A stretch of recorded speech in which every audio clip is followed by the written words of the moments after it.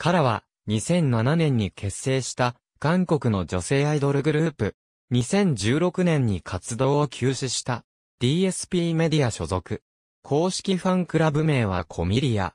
DSP エントより第2のフィン、KL 誕生を目指して2007年3月29日にミニアルバムザ・ファースト・ブラミングでデビュー。少女時代と並び、日本における K-POP ブームの火付け役として知られており、2011年には NHK 紅白歌合戦に出場した。グループ名、からは、韓国語で音調やリズムを意味する、カラクに、ギリシャ語で、喜びや嬉しさを表す、ハラーを加えて、音楽を通じて、喜びを与えたいという思いを込めている。2007年3月29日、一周アルバム、ザ・ファースト・ブラミングを発売。同日に、M カウントダウンで、タイトル曲の、ブレイク・イットを初披露し、パク・ギュリ、ハン・スンヨン、キム・ソンヒ、チョン・ニコルの4人組として、デビューを果たした。ブレイク・ウィットに続いて、シークレット・ワールドの曲で活動を行い、次のアルバム準備のため同年9月を最後に、プロモーション活動を終了。この時点ではそう遠くない時期に、新しいアルバムを発表し、活動を再開することが予告されていた。しかし、この年の新人賞も候補にはなったが、受賞はできず、ワンダーガールズや少女時代といった他のガールズグループの後塵を拝すこととなっていた。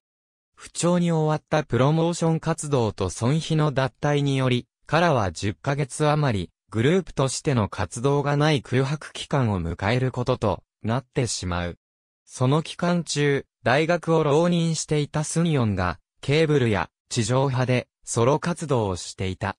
2008年2月末、所属事務所がメインボーカルであったキムソンヒの突然の脱退を発表。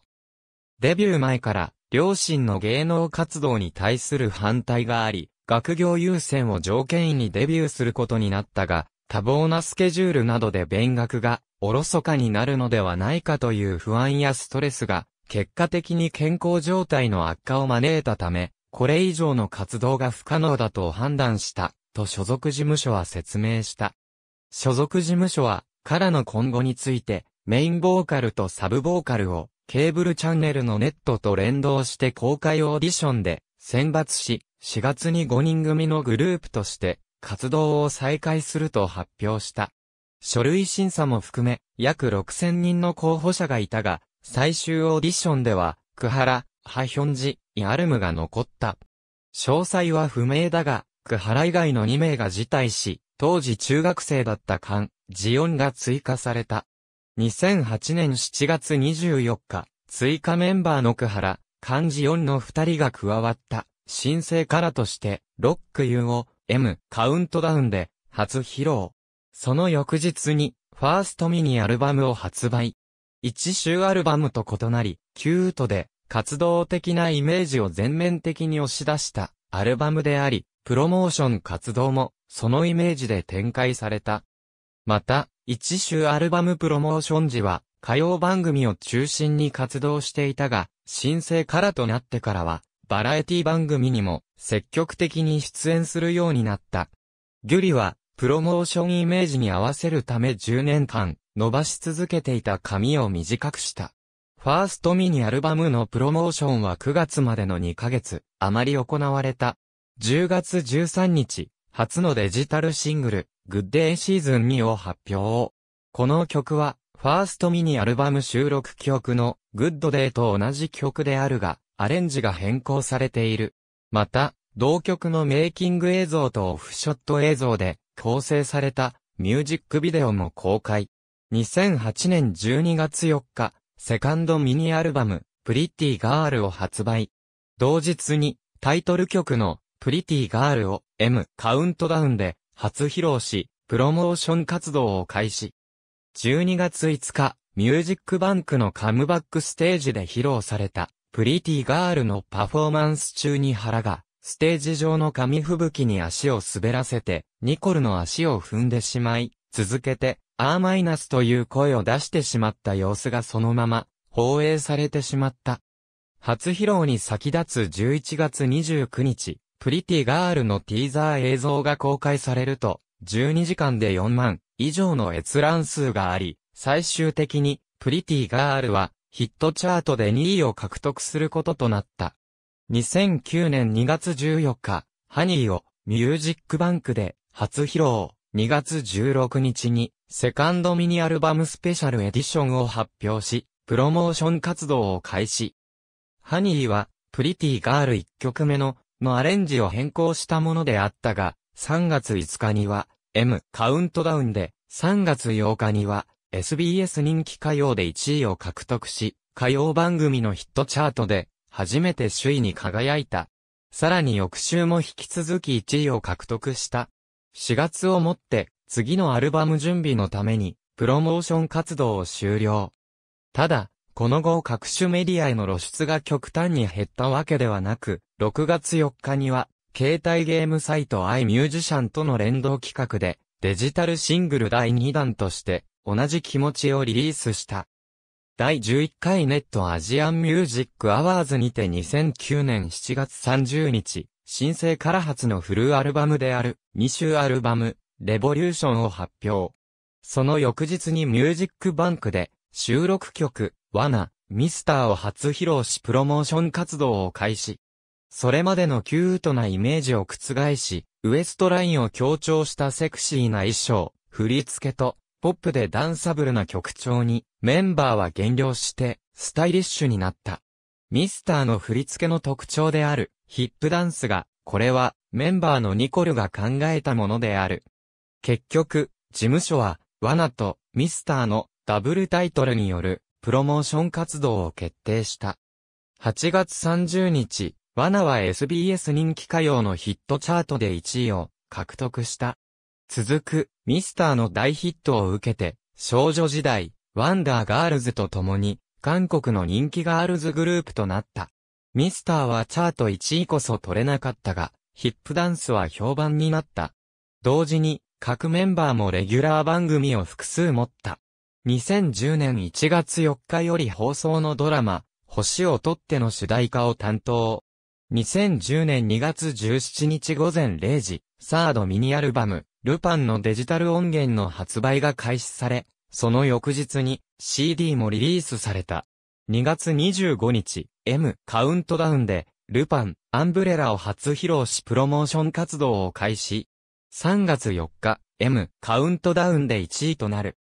また翌週も引き続き同番組で1位を獲得、さらに同週のミュージックバンク、SBS 人気歌謡でも1位を獲得し、カラとしては、初の韓国三大歌謡番組において、すべて1位獲得という三冠の快挙を達成した。ミュージックバンクで1位を取ったのは、デビュー以来初めて。同番組では、翌週、翌々週と3週連続で1位を獲得した。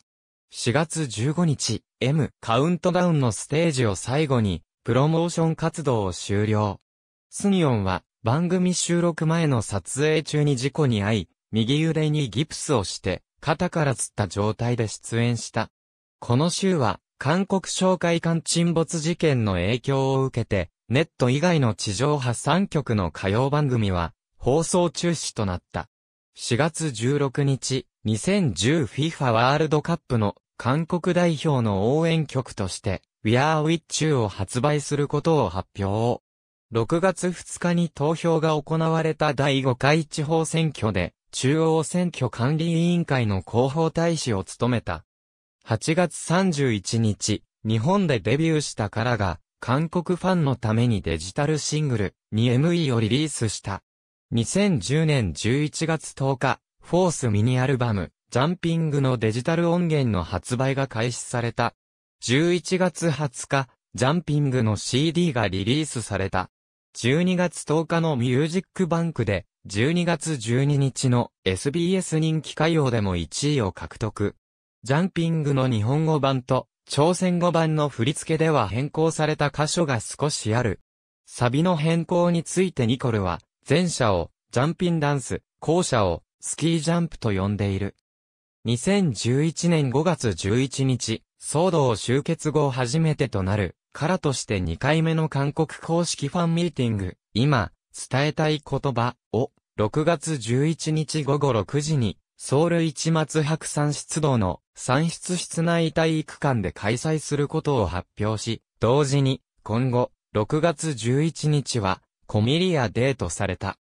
8月10日、韓国訪問の年記念2011年 K-POP カバーダンスフェスティバルの PR 大使に任命された。カルトーショーにて2011年9月6日午前0時、3週アルバム、STEP の音源を公開した。韓国主要音源サイトリアルタイムチャート1位を独占、また CD 売上チャートの主要サイトであるヘンター、チャートでリアルタイム及びデイリー1位を獲得した。タイトル曲、STEP は、ルパン以来2度目の韓国三大歌謡番組3冠を達成した。YouTube で公開された同曲のミュージックビデオは、その後も再生され続け、発表から8年6ヶ月後の2020年3月には、再生回数が1億回を突破している。2012年2月18日、ソウルオリンピック公演の体操競技場にて、初めてとなる単独コンサート、カラシアを開催した。6月5日、韓国の観光振興に貢献した個人や団体に贈られる韓国観光の星功労賞に選定され、6月12日、ソウルにて受賞式が行われた。2012年8月22日、フィフスミニアルバム、パンドラをリリース。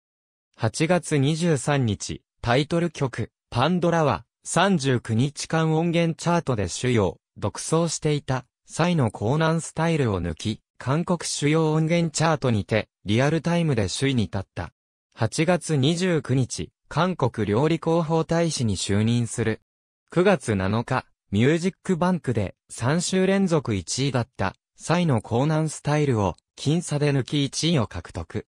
9月13日、M カウントダウンでティアラのセクシーラブを抜き、1位を獲得。これにより、10月に、タイで行われるマカウントダウンスマイルタイランドへの合流が決定した。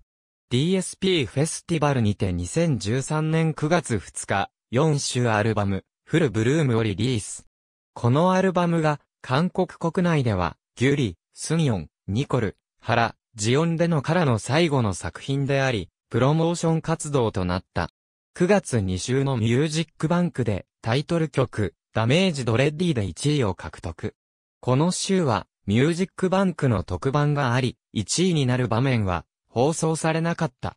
12月31日、MBC2013 歌謡大祭典にて、ダメージドレディを含む4曲を披露。翌年の1月に、ニコルが事務所と再契約しない意向を伝えている状態の中での披露であり、これが5人で行う最後のステージ披露となった。2014年1月16日をもって、初期メンバーである、チョン・ニコルが脱退した。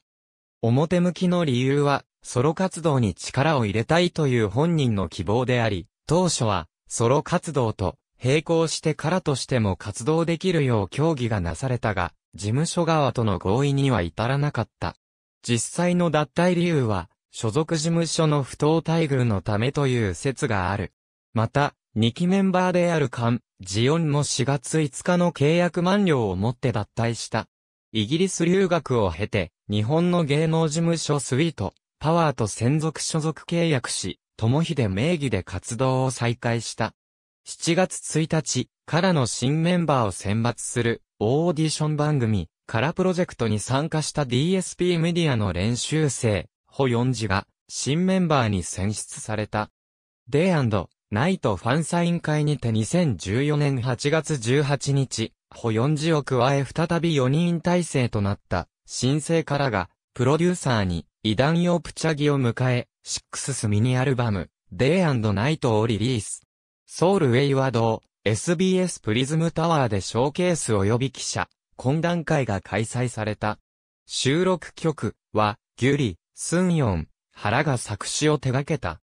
これは、愛する人と別れた後の気持ちを歌っているが、これはグループを離れたニコルとジオンへのメッセージかという問いに、スンヨンは、三人のそれぞれの物語を歌詞に移し、修正して合わせて作った。その中にある内容は、皆さんの想像に任せたいと伝えた。2014年8月24日、SBS 人気歌謡放送後、近くにあるクアム公園でミニファンミーティングを開催。メンバーたちが自ら企画し、自費で準備し、250人のファンに直接食べ物を配るなどした。2014年8月27日、小チャンピオニン、清志州でタイトル曲、マンマミーヤ。で1位を獲得。2014年12月15日、DSP メディア所属アーティストが参加した初のプロジェクトアルバム、 White Letter をリリース。2015年5月26日、セブンスミニアルバム、 In Love をリリース。タイトル曲、キューピッドは、VOS のチェヒョンジュンとチョンホヒョンによるプロデュースチーム E1 と EJ ショーが手掛けた。6月3日、 The Show でタイトル曲、キューピッドで1位を獲得。2016年1月15日、2月2日付で、パク・ギュリ、ハン・スンヨン、クハラの DSP メディア専属契約が満了することを発表した。ギュリ、スンヨン、ハラの3名は再契約しない一方、ホヨンジは事務所に残り、DSP メディアで引き続き活動する旨を発表した。その後、原が、キーイーストと、スンヨンが、J、ワイドカンパニーと、ギュリが、モーションメディアと専属契約を締結した。これにより、グループは事実上の解散となったが、最終メンバーたちは、解散を否定している。2019年11月24日、原が、ソウル市内の自宅で死亡した状態で発見された。2月7日、赤坂ブリッツにおいて、日韓を通じてカラとしては、初となる単独ショーケース、カラファーストショーケースインジャパン2010が2回、開催された。当初、この公演は、夕方からの1回だけの予定であったが、同日正午開始の追加公演が急遽設定された。司会は、カラの大ファンでもある、鷲崎健が務めた。4月28日、カラスペシャル、プレミアムボックスフォージャパンを初回限定発売。5月8日、日本でのスペシャル CD ボックス、カラスペシャル、プレミアムボックスフォージャパンの発売記念イベントが、グランドプリンスホテル赤坂にて、開催された。5月9日、日本での公式ファンクラブの発足に伴う、ファンミーティングが、横浜港未来大ホールにて開催された。8月11日、日本第1弾、シングル、ミスターを発売、日本デビューを飾った。ミスターの振り付けの特徴である、ヒップダンスが日本でも話題となる。渋谷109前にて、サプライズライブを行ったが、通行人とファンが密集し、人が車道まで溢れてしまう事態となってしまったため、3分で中断された。8月13日、MTV、MTV 寿司フェス10サポーテッドバイリビエラに、サプライズライブゲストとして出演。8月14日、ミスター発売記念握手会が、新木場スタジオコーストにて開催され、1万人のファンが詰めかけた。また、劇団ひとりが、お忍びで来場し、話題となった。8月17日発表のオリコン CD シングル週間ランキングでミスターが初登場5位にランクインする。海外女性グループのデビュー曲としては、1980年12月15日付の週間ランキングで、イギリスのノーランズのダンシングシスターで7位を記録して、以来、29年8ヶ月ぶりのトップ10入りを果たした。さらに、アジアの女性グループとしては、初の快挙となり、歴史に名を残すこととなったと報じられた。9月29日、ベストアルバム、からベスト2007から2010発売。最高位は、オリコン CD アルバム週間ランキング2位。11月10日、日本第2弾シングル、ジャンピン発売。最高位は、オリコン CD シングル週間ランキング5位。2010年11月13日愛知県のラグーナ、ガマ氷の点灯式とミニライブに、カラが出演。11月24日、日本第1弾オリジナルアルバム、ガールズトーク発売。最高位は、オリコン CD、アルバムデリーランキング1位、オリコン CD アルバム週間ランキング2位。発売1ヶ月で20万枚以上の売り上げを記録した。オリコンアルバム週間ランキング14週連続トップ10入りを達成。12月1日、レコ直年間ランキング2010において、新人アーティストランキング、着歌フル部門で1位、新人アーティストランキング、着歌部門で2位、ミスターが着信ムービーランキングで1位、ビデオクリップランキングで3位をそれぞれ獲得した。12月20日、2010年に日本で発売したからのシングル2作、アルバム5作、DVD1 作の計8作で13億円を売り上げ、第43回オリコン年間ランキング2010の新人セールス部門でカラが1位となった。また、作品別シングル売上金額ランキング、新人セールス部門で、カラのジャンピンが3位となった。1月10日から放送、ロッテ、ガーナミルクチョコレートの CM ソングに、からの SOS が採用され、竹井咲と共に CM に出演した。1月14日から放送のドラマ、裏からで日韓を通じて初のドラマ主演。オープニングテーマ曲は、からの SOS。主題歌には、からの今、送りたい、ありがとうが起用された。2月23日、メガボルト集、DVD、カラベストクリップス発売。初回版は2枚組。2枚目には、カラのメンバーが、自分たちのメガボルトを見ながら語る、リアルガールズトークが収録されている。最高位は、オリコン DVD 総合、DVD 音楽デイリーランキング1位、オリコン DVD 総合、DVD 音楽週間ランキング1位。オリコン DVD 総合1位は、海外女性アーティストとしては、史上初。また初週に13.2万枚を売り上げ、女性アーティストのミュージックビデオ集としては、倉木舞の記録を上回り、初週売上史上最高記録となった。また発売週より2週連続で、オリコン DVD 総合1位となり、海外アーティストとして初の快挙となった。3月5日、第12回東京ガールズコレクション2011スプリングサマーにおいてカラがヘアカラーブランドパルティの CM に出演することが発表された。CM タイアップ曲はガールズ Be Ambitious。3月10日、テレビ朝日ミュージックステーションにカラ分裂騒動後初めて生出演することが報じられた。その後、スタジオがある東京都が3月11日発生の東日本大震災の影響で韓国政府から旅行留意地域に指定され、からがこれを理由に来日を取りやめたため、出演は取り消された。3月15日、東日本大震災に関し被災したファンに向けて、公式ファンクラブサイトに手書きのメッセージを載せた。また、3月23日に発売予定のシングル、ジェットコースターラブの原版印税のうち、DSP メディアに支払われる分を全額、同震災の義援金として寄付することが、同社から発表された。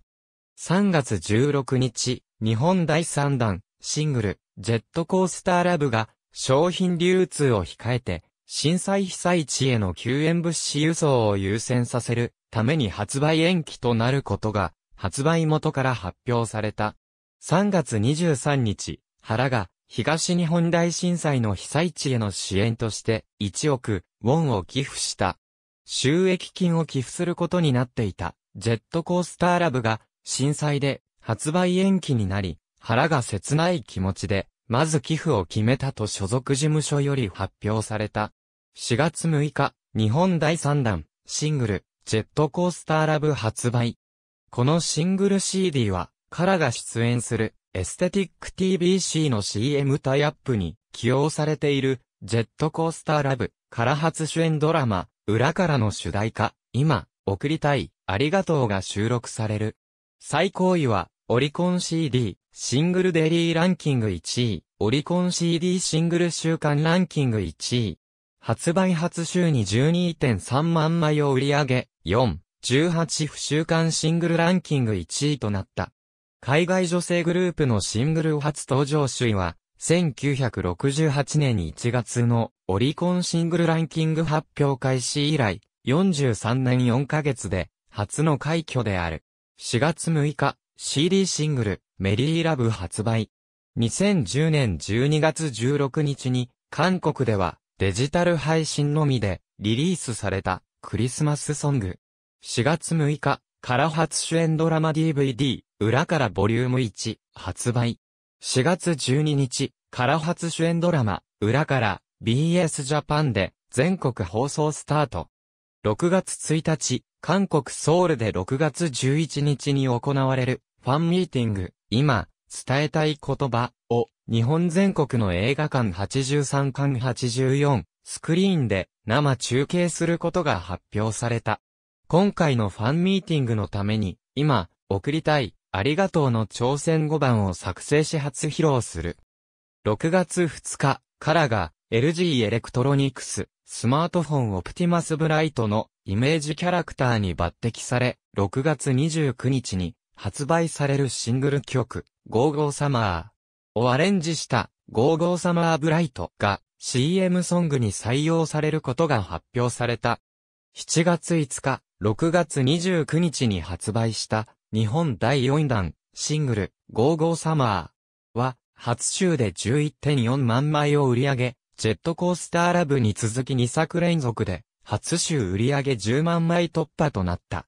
2作連続での初週売り上げ10万枚突破は、海外女性アーティストとして、史上初の快挙である。最高位は、オリコン CD シングル週間ランキング2位。7月6日、レコチョク2011年上半期ランキングにおいて、アーティストランキングで4位、アーティストランキングで4位を獲得した。7月30日、日本初となる K-POP 野外イベント、ラブ -1 フェスティバル2011に出演し、鳥を務めた。8月6日、日本において、初のファンミーティングを、神奈川県の横浜アリーナで、今、送りたい言葉を開催した。ファン1万人を集め、ジャンピン、ミスター、ゴーゴーサマー、などの日本語曲7曲と、ルパンなどの朝鮮語曲3曲の計10曲を披露した。からベストクリプシーショーズに収録。10月5日、韓国版3週アルバム STEP 発売。STEP の振り付けの特徴は骨盤ダンス。最高位はオリコン洋楽アルバム週間ランキング1位、オリコン洋楽アルバム月間ランキング1位。10月8日、からギュリ初主演ミュージカル、美女は辛いの、大阪松竹座で開幕。相手役は超新星、ソンジェ。10月12日、から、S All About Beauty 発売。最高位は、オリコン DVD 総合デリーランキング1位。10月19日、日本第5弾、シングル、ウィンターマジック発売。振り付けの特徴は、愛嬌ダンス。11月23日、日本第2弾オリジナルアルバム、スーパーガール発売。A、B、C。最高位は、オリコン CD、アルバムデリーランキング1位、オリコン CD アルバム週間ランキング1位、オリコン CD アルバム月間ランキング1位、オリコン CD アルバム年間ランキング7位。11月29日、ファミリーマート、フライドチキンテレビ CM、からクリスマスペン、放送開始。から女子会ペン。きちんとチキンの歌の振り付けの特徴は、チキンダンス。12月19日、第44回オリコン年間ランキング2011のアーティスト別トータルセールス部門で、カラが49.3億円で年間4位となった。また、アルバム、スーパーガールが、発売から3週間で45.1万枚を売り上げ、作品別アルバム売り上げ枚数部門で年間7位となった。12月21日、DVD、カラバケーションに発売。12月23日、DVD、カラベーカリー発売。12月31日、第62回 NHK 紅白歌合戦、初出場。1月25日、DVD、カラジセ2012、インパリ発売。2月15日、DVD、STEPIT アップ発売。2月29日、DVD ブルーレイディスク、 KARA BEST CLIPS & SHOWS 発売、 KARA BEST CLIPS ブルーレイディスク発売3月21日、ギュリの声帯ポリープ切除とニコルの左足首靭帯損傷と悪いコンディションの中、日本第6弾、シングル、 SPEED UP、GIRL'S POWER 発売。4月11日、スーパーガール、 JAPAN TOUR Special Edition 発売。4月14日から5月27日、からファーストジャパンツアー2012、からシア9月5日、ソロ曲アルバム、カラコレクション発売。10月17日、日本第7弾、シングル、エレクトリックボーイ発売。オリコン CD 週間ランキング2位を獲得。10月20日、ラブコンセールイン神戸六甲アイランドに出演。スンヨンとハラは司会を務める。10月21日、東京ビッグサイトにシオンホールにて約1万人とハイタッチ会開催。11月14日、日本第3弾オリジナルアルバム、 Girls Forever、ライブ映像、 KARA first JAPAN TOUR 2012 KARASIA 発売。1月6日、K-POP ガールズグループ初の東京ドーム、公演単独ライブ、 KARASIA 2013 HAPPY NEW YEAR in、東京ドームを開催。1月8日、第27回日本ゴールドディスク大賞、ベストエイジアンアーティスト受賞。3月27日、日本第8弾、シングル、バイバイハッピーデイズを発売。7月24日、日本第9弾、シングル、サンキューサマーラブを発売。8月28日、日本第4弾オリジナルアルバム、ファンタスティックガールズを発売。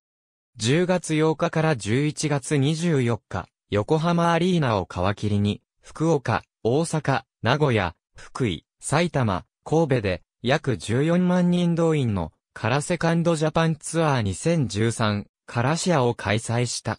5月31日、後に、カラのメンバーとなるホ4時を含む7名の DSP、練習生ベビーカラが、タマプラーザでミニライブを開催。6月1日、日本武道館において、カラファンミーティング2014、コミリアアドベンチャーを開催。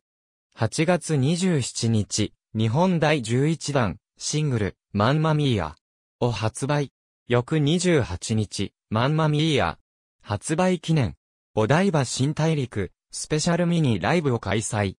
10月24日から11月19日、福岡、名古屋、岡山、石川、新潟、大阪、横浜において、カラサードジャパンツアー2014、カラシアを開催。2月14日、グランドプリンスホテル新高輪は、飛天の間において、カラバレンタインパーティー2015を開催。5月2日、東京体育館において、カラファンミーティング2015、コミリアフェスティバルを開催。5月5日、日本第12弾、シングル、サマー、ジック、サンシャインミラクル、サニーデイズを発売。6月17日、日本第5弾オリジナルアルバム、 Girl's Story を発売。6月30日、日本デビュー5周年記念企画フィットネス DVD、 KARA the FIT を発売。8月7日、ラビプレゼンツ MTV、ズシフェス15サポーテッドバイリビエラに出演。8月15日、ギュリ from the Airport が、サマソニ2015に出演。9月1日から9月29日、大阪、名古屋、金沢、広島、岡山、福岡、横浜において、カラザフォースジャパンツアー2015、カラシアを開催。7月2日、ステラボールにおいて、4次単独のファンミーティング、4次ファンミーティング2016、ナイス 2CU を開催。